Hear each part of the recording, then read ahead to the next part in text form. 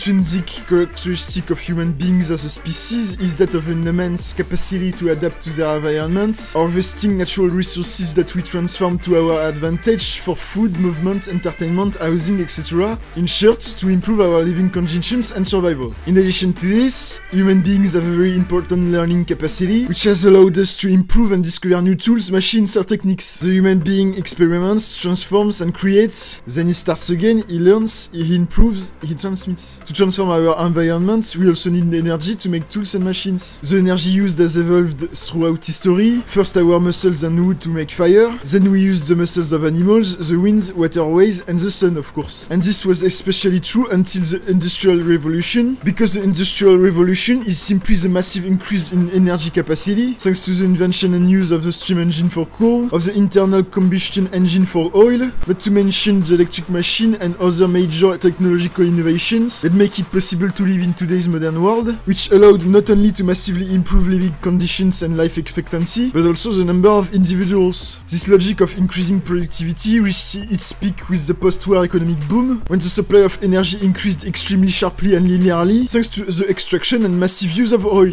This is also what has enabled globalization, since we have been able to provide means of transporting goods, and therefore to put goods in competition throughout the world. Except that of course nobody had foreseen that the quantity of energy sources was not unlimited. We based our entire economy on the idea that there would be infinite growth, because until the end of the post-war economic expansion, we had no limit on the amount of extraction of these energy sources. Except that we increased their use so much after the end of the Second World War, that it ended up happening. In 1973 we could not increase it anymore, and had we had not foreseen it, it was a terrible disaster. First of all, it caused mass unemployment, especially among young people, since the number of individuals had already exploded with the baby boom, and knowing that the job consists of operating a machine that needs energy, well, there aren't enough machines left for everyone. Especially since the machines have become bigger and bigger, that is to say much more productive with the robotization of production, to add to the fact that manual work requiring little energy has been relocated to China or other developing countries. Conclusion, we end up with millions of unemployed. So that's for unemployment, but then it caused enormous inflation since the price of energy exploded, a colossal explosion of public debt since the state had to invest billions to help companies to limit the inflation, even as states' revenues have fallen. Knowing that the principle of public debt is to defer the reimbursement of a payment while waiting for the return of growth, well, that means that it has not stopped increasing and that it will never be reimbursed since growth will never return. The 2008 crisis is the same principle, except that there it is not a stagnation of the energy supply, but it is a drop, because with the return of growth, the risky loans of American banks could have been repaid. But in the contrary, this caused the crisis that we know with millions of people without housing and the states injecting hundreds of billions to save the banks. As a result, due to the lack of anticipation of the depletion of natural resources and of planning, we end up with a brutal drop, which has caused mass unemployment, a monumental public debt, and a brutal fall in real production, and therefore a decline in the standard of living of individuals, aggravated by the economic and commercial war. This drop in the standard of living has indirect consequences, such as the drop of the level of satisfaction of individuals, which is absolutely normal by the way, and which has exacerbated ideological communitarianism and polarization in the developed countries, but the effects are much worse in the countries of the Arab world, since there the drop in the energy supply caused a drop in agricultural productivity, an increase in the price of wheat, and therefore famines, which themselves caused the Arab Spring and ISIS, just that. But if that was all, it would be so simple. Because on top of that, we also have a massive carbon dioxide emission problem. Because we have not simply multiplied the consumption of energy, we have above all multiplied the consumption of carbon energy. Because if we had developed the use of wind or hydropower, it wouldn't have been a problem. But I don't think I've seen fucking wind turbines on the roof of cars or factories. Because carbon energy actually consists of burning carbon-rich materials to turn a turbine or a piston. So it's as kinda normal that there is an increase of the concentration of carbon dioxide in the atmosphere if you increase the energy consumption on this scale. Moreover, this increase of the concentration of carbon dioxide in the atmosphere is what we observe in absolutely all the fucking methods of measurements, and which exceeds thresholds never reached before for those who would still have doubts. We managed to know it over the last 800 fucking thousand years, thanks to the method of ice cores, and in a much more precise way with systematic measurements since 1957. And we can tell that it is a carbon of human origin, thanks to the analysis of the type of carbon present in the atmosphere, and the decrease in concentration of oxygen, because if there is less oxygen in the atmosphere, it means that it has turned into combustion. And finally, we can also know this with the very rapid and very strong increase that has been observed for 200 years, at the exact same fucking time as the Industrial Revolution. So if it is not because of the human activity, you'll have to tell me how the fuck it is possible that right when we start to burn coal, there is a fucking massive increase in the concentration of CO2, which has never been so rapid and significant ever before. And then there I talked about emissions related to energy which constitutes the vast majority of carbon dioxide emissions of human origin, but there are also other sources such as cement factory, deforestation, voluntary fires or those related to global warming. And then I spoke only about carbon dioxide, which constitutes 76% of greenhouse gas emissions of human origin, but only 41% of the greenhouse effect of human origin, because there is also other gases, such as methane, which constitutes 20% of the greenhouse effect of human origin, but which constitutes only 16% of greenhouse gas emissions, because it has a greenhouse effect 30 times greater than the carbon dioxide. And it comes from the cattle breeding, rice paddies, and the exploitation of carbon energy sources. Not to mention nitrous oxide, by the way. Now the question is, do these emissions have an effect on the climate? Because you could say that it's just a gas in the atmosphere and that it has little or no effect, but then you're going to have to explain to me how it is that gas emissions that have a greenhouse effect, which means they are partially opaque to infrared, which simply means they are black in color, and which are emitted into the atmosphere so significantly, do not actually increase the average temperature of the Earth. And you will also have to explain to me how the abrupt and sudden increase in carbon dioxide and methane emissions has no connection with the abrupt and sudden and synchronized increase in the average temperature of the Earth, which is established by absolutely all measurement methods, direct measurements with a thermometer, analysis of tree rings, coral growth, the proportion of EV isotopes in glaciers, borehole thermometry, or marine sediments. There is also the remark that global warming is not just man-made, it has natural causes, including solar or volcanic activity. Well, to that, I say that that's not what science says. In fact, this skepticism comes from the fact that there is a cyclical evolution of the climate, with regular glacial periods, except that firstly these are glacial periods and not warming phases, and secondly it is in fact directly activated by an increase of CO2 concentration. So because of the greenhouse gases, the greenhouse effect. So even after saying that, we could say that global warming is not serious, it has no serious negative consequences, at worst it's a little warmer, but that's fine. We shall not dramatize. Well in fact it depends on whom, it depends on the level of increase in the climatic temperature, and especially on the definition that we give to serious. Is it serious that there is an acidification of the oceans? Well, it's not directly linked to global warming but CO2 emissions, but that doesn't change much. This acidification will have a certain number of effects, and in particular the reduction of the population of calcifying organisms in the Arctic, which are in fact just the base of the oceanic food chain in this zone. Is this serious that there is an increase in the frequency and intensity of cyclone phenomena? And here we are talking about an angry fucking cyclone doing monstrous damage on its way through the United States of America. Is it serious that there is a shift in climatic zone towards the poles, which will favor the development of viruses and bacteria, and which kills most of the trees in certain number of zones, such as beeches and firs in France, which will completely destroy biodiversity, in addition to aggravating global warming? Is it serious that there is a warming of the water and a melting of Greenland and Antarctica, which causes an increase in the level of the ocean of more than 3.7 millimeters per year, and which obviously causes fucking floods in areas like Bangladesh, where there are 200 fucking millions of people, and unless they develop a cult for food I don't think they are going to stay where they are long time. But the rise in sea level will not only cause flooding, but it will produce two other effects. First, the salinization of the soil since the salt water will rise in the soil, which will just make the soil completely sterile, but also a snowball effect because Antarctica and especially Greenland disperse solar radiation, therefore the melting of the ice worsens the greenhouse effect even more. Knowing that there is a scenario where Greenland melts almost completely.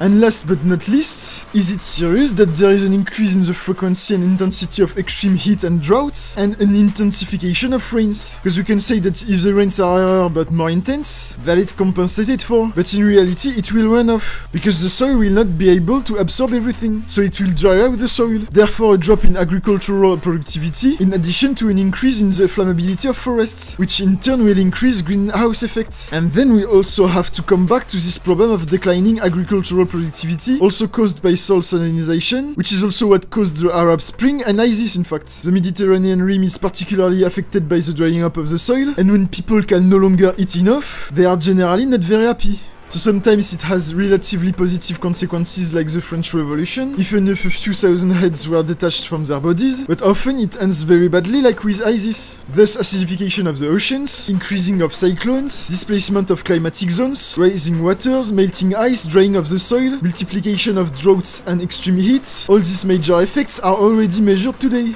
But you could say that it is still not serious, because the effects will be a low intensity, well in fact it completely depends on the evolution of greenhouse gas emissions. The warmer the climate, the more severe the effects will be.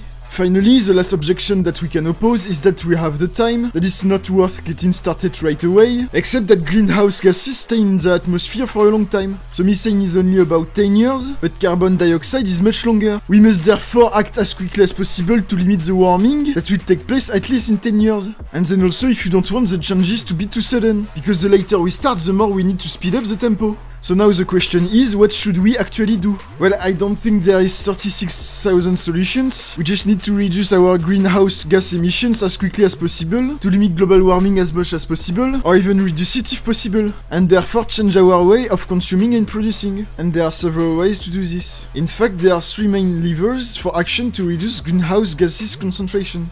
First, we can create carbon sinks, that is to say globally plant trees, taking into account the fact that they take time to grow and also that they can burn. Secondly, there is the question of the number of the population, because in fact if we want to lower the carbon footprint, either we lower polluting consumption per person, or we simply lower the number of living people, whether by birth but also and above all by death. Because in fact it is not much the birth rate that needs to be reduced, since we already have nearly 2.1 children per woman, the minimum figure for the renewal of generations, but life expectancy and mortality rate. So obviously we are not going to kill people either, but allow easy and protected access to assisted suicide for the older people, and above all stop stubbornly keeping people alive at all costs. When they are in a horrible state of health, it would not be bad in my opinion. Knowing that in any case the number of living people will self-regulate, either by natural causes such as epidemics, famines and natural disasters, or by anthropological causes such as wars. And thirdly, the question of the average carbon footprint per person, which means the amount of greenhouse gases that a person has generated by their consumption of goods and services. So the problem is that the carbon footprint per person is very unequal. A handful of people emit a gigantic amount compared to the rest of the population, and this is perfectly correlated with the income level of people obviously, because the richest consume more. Now in terms of concrete measures to reduce greenhouse gas emissions per person, there are many, but we could already tackle strictly leisure activities, such as winter sports, motorsports, golf. We can tackle meat, in particular beef and sheep meat and more broadly ruminants, and therefore dairy products, to greatly reduce methane emissions linked to rumination, nitrous oxide emissions due to manure and nitrogen fertilizer used to grow their food, and also obviously the carbon dioxide emissions because of the gigantic deforestation causes, but suddenly it will also be necessary to attack the carnivorous domestic animals which feed all these animals. We can also act in agriculture, in particular chocolate because of deforestation, coffee because of nitrogenous fertilizer which produce nitrous oxide, replace current conventional agriculture with permaculture, trying to do without fertilizers altogether, because either it's nitrogen fertilizer like manure that produce nitrous oxide,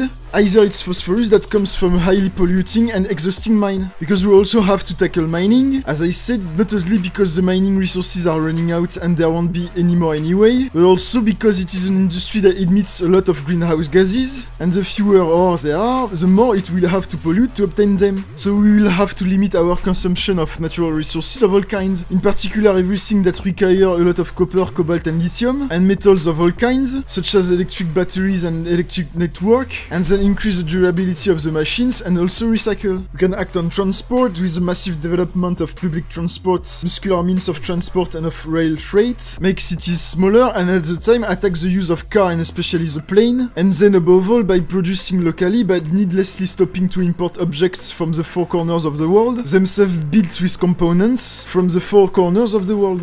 We can tackle housing by renovating buildings, having smaller housings and lowering the heating, and installing heat pumps. And we can obviously tackle the energy sector by producing the lowest carbon electricity possible, therefore by getting rid of coal fire and gas power plants, and replacing them with fourth generation nuclear reactors, a little hydroelectricity, a little gas, and a little of new renewable energy, such as tidal turbines and other. But in terms of energy, the most important thing is actually sobriety, so the pure and simple reduction of consumption. And of course, the list is not exhaustive. I could have talked about the chemical industry, for example, or the textile industry. Yeah. But in fact, the simplest thing is to let us choose consumption as we wish, within the framework of limiting global greenhouse gas emissions, while being fully aware of the carbon footprint of each good and service that we consume.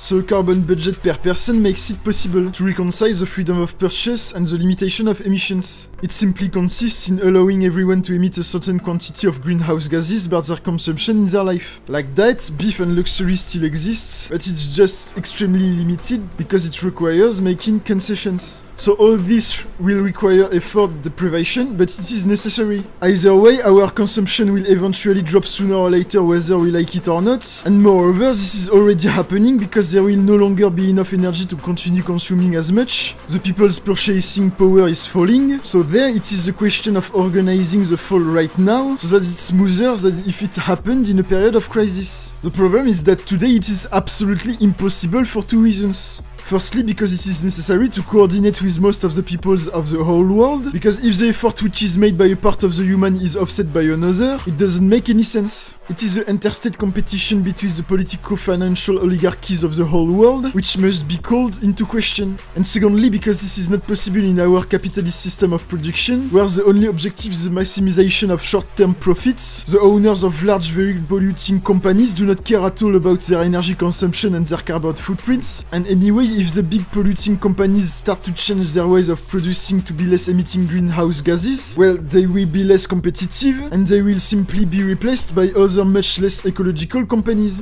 And finally, thirdly, the elections. Because we say that elections are good because they allow us to have a diversity of ideas and therefore political offers, and political alternation would be the sign of a healthy democracy, except that in fact politics is not a fucking store where you hesitate between this cute little floral top and this shirt that goes well with your tight jeans. It's about making decisions that will have an impact on the life of the entire population of your country or even the world. And when you try to plant production which is absolutely necessary for ecology, but after 4 years you have to leave power because you lost, which happens all the time, well your plan you can shove it up your ass actually.